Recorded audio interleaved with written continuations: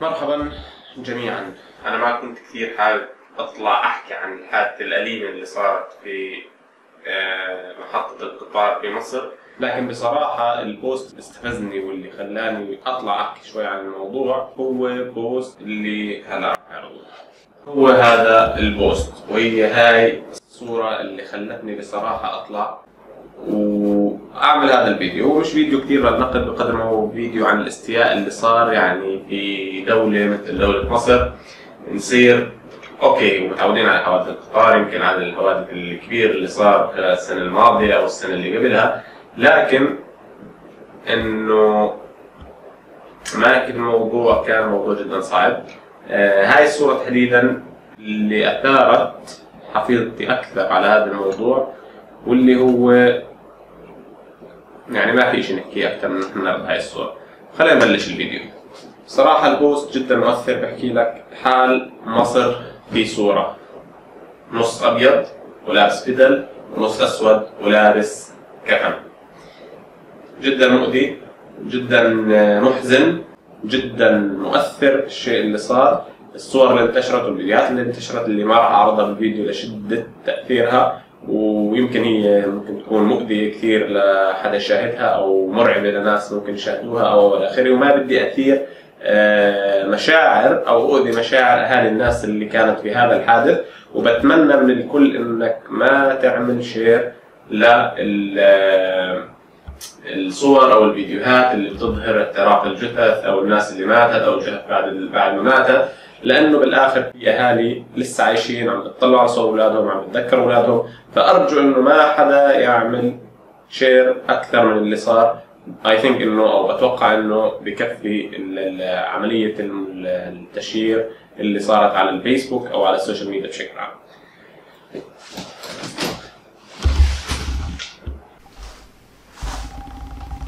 حادثة أقل ما يقال عنها أنها هي حادثة مأساوية. الفيديوهات اللي وصلتني والتعليقات اللي وصلتني من أصدقائي واللي أنا كمان شفته على ال social media. بصراحة كان كثير أنه لازم ينعمل هذا الفيديو عن هذا الموضوع. أولا بدي أعزي كل أهالي الضحايا والشهداء الموجودين بالحادثة اللي راح أحكي عنها اللي هي حادثة القطار والمحطة اللي صارت في مصر. بدي اعزي الأهالي بدي اعزي الشعب المصري بدي اعزي أصدقائي المصريين. باللي قاعد بيصير في مصر. الحادثة هي عبارة عن خلينا نشوف على السكرين. يعني مشهد صراحة محزن ومؤذي لكن خلينا نشوف مع بعض اللي صار بالأول إنه اصطدام القطار بحاجز الأمان في محطة القطار في محطة القاهرة اللي أدى إلى تفجير خزان وقود وأشعل حريق هائل خلف 20 قتيل على الأقل. وعشرات الإصابات اللي صارت. المشكلة مش هون المشكلة إنه الإشي اللي صار إشي كثير مروع يعني ممكن يصير في أي بلد بسبب فساد المسؤولين أو فساد القائمين على الدولة. الفكرة في الموضوع إنه رئيس مصر كان رافض تماما توجيه أي مساعدة أو أي مصاريف من مصاريف الدولة بصيانة سكة الحديد. وبحكي لك الحجة إنه أنا إذا بدي أرفع عليه التيكت راح يقول لي مش قادر أدفع وأنا كمان مش قادر أدفع للصيانة. انت غلط انك انت تحكي انت كيف انت مش قادر تدفع. انت رئيس دولة إذا الدولة عندك قائمة النقل فيها فيها والمواصلات فيها على القطارات فأنت لازم تعمل صيانة للسكك الحديد عشان تتفادى. مشكلة عظيمة مثل هيك. أتوقع الشعب المصري اليوم لازم يكون في له يعني ردة فعل هائلة. زي ما كان لكم وقفات سابقة ضد أي حد كان خطأ في في إدارة الدولة أو في إدارة مقدرات الدولة لازم اليوم يكون في لكم موقف على الخطأ اللي صار هذا ولازم إنه تقدروا إنكم توصلوا لنقطة يكون فيها فائدة للشعب المصري تتجنبوا المشاكل اللي قاعدة رئيس الوزراء في مصر يقول إن المسؤول سوف يحاسب حسابا عسيرا، المشكلة مش في محاسبة المسؤول اليوم عن هذا الموضوع، المشكلة في الخسائر اللي أصلا اوريدي صارت، الأرواح اللي صارت والطريقة اللي توفت فيها أو الأسباب اللي توفت فيها هاي الناس اللي ما إلها أي أدنى ذنب إلا أنها انوجدت في بلد كان فيها إهمال هائل لشبكة المواصلات اللي هي عبارة عن القطارات الموجودة في مصر. آه، وإهمال الناس كلهم اللي يعني سواء كان إهمال من سائق القطار أو كان إهمال من ال- الناس اللي في المحطة أو كان من المراقبين أو كان من الناس اللي بتعمل صيانة أو كان من الوزراء أو كان من رئيس الدولة ففي تقصير هو هذا هو السبب اللي لازم استئصاله من الموضوع أو حله أو توجيهه أو ما بعرف شو الطريقة المناسبة اللي لازم تسووها لكن إنه نوصل لغاية إنه تموت ناس حرق بسبب تقصير ناس ثانيين هذا شيء جدا مخزي. المشكلة إنه الرئيس السيسي زي ما حكينا حكى في السابق إنه يرفض ضخ الأموال لإصلاح السكة الحديديه خلينا نشوف الفيديو مع بعض اللي انتشر على ال social media. والمسؤوليات تتقاذفها الجهات الحكومية فيما بينها ويحملها الموظفون المحليون أحيانا. السيسي يرفض إهدار الأموال على إصلاح السكك. لما مرفق عايز له أكتر من 100 مليار جنيه لرفع كفاءته هندفعه منين؟ تقول لي أنا هصرف 10 مليار عشان أكهرب وأعمل ميكنه ال 10 مليار دول لو أنا حطيتهم في البنك هيجي لو خدت عليهم فايدة 10% يعني مليار جنيه. وجه اعتراض الرئيس السيسي إنه يحط 10 مليار لإنه يكهرب ويحط مكنة فهو لا أنا لو حطيتهم في البنك حيجيبوا لي فائدة بمقدار مليار جنيه.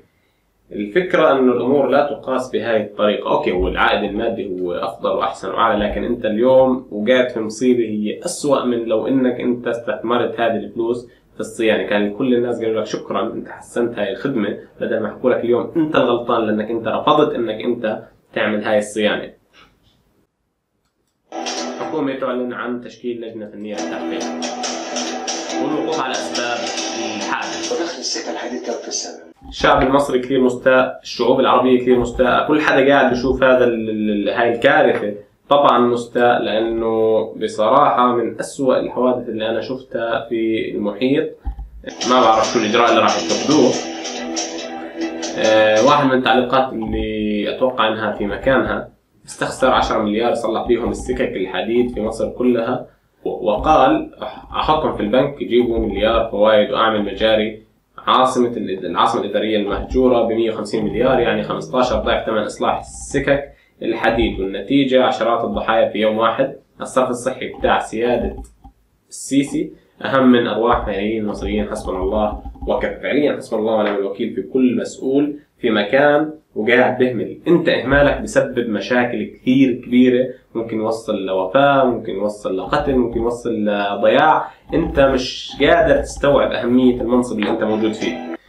المشكلة مش في إنك استخسرت في مصر كذا مليون أو كذا مليار أو قد ما يكون الرقم اللي استخسرته في إصلاح سكك الحديد. المشكلة إنه حسب المصادر عدد حوادث القطارات في مصر خلال السنوات الست الأخيرة تجاوز 4777 حادث. 4777 حادث. أنت لما تحكي حادث قطار فأنت لك أن تتخيل الأعداد المتضرره من أي حادث ممكن ينجم عن القطارات. فأنت بتستخسر المبلغ في إنك أنت تحمي أهل بلدك اللي أصلا 10 مليارات جنيه هي خسائر هيئة السكك الحديد في العام 2017 2018 اللي هي الكلفة اللي أنت لو حطيتها للصيانة أتوقع ما كانت راح تصير هاي الخسائر. والأهم من هاي الخسائر المادية اللي هي خسائر اللي في الأرواح البشرية اللي ما لهم أي أدنى ذنب. لما نيجي نقول أنا هزود عليك التذكرة جنيه يقول لك أنا غلبان مش قادر صحيح. وأنا كمان غلبان مش قادر باشتداد بحكي لك إذا أنت بتحكي لي أنا غلبان مش قادر أدفع التيكت زياده كذا فأنا كمان غلبان مش قادر إن أنا أصلح لك إياها. لا أنت بتقارن الأمور بطريقة خاطئة. هذا الموضوع ما له علاقة بهذا الموضوع. أنت قاعد تقارن تمرة بتفاحة يعني أو بلح بتفاحة. ما راح أعرض مشاهد من الحادث لأنها صراحة مشاهد جدا يعني مروعة وجدا مخيفة وجدا مؤذية للي راح يطلع لكن تقدر ترجعوا على اليوتيوب أو على الفيسبوك أو على أي واحدة من البلاتفورمز وتشوفوا هاي ال- ال- الحادثة. لكن أنا بدي أوصله للكل إنه اليوم عندنا في الأردن إحنا مشاكل. عند الشعب المصري إخواننا عندهم اليوم مشاكل.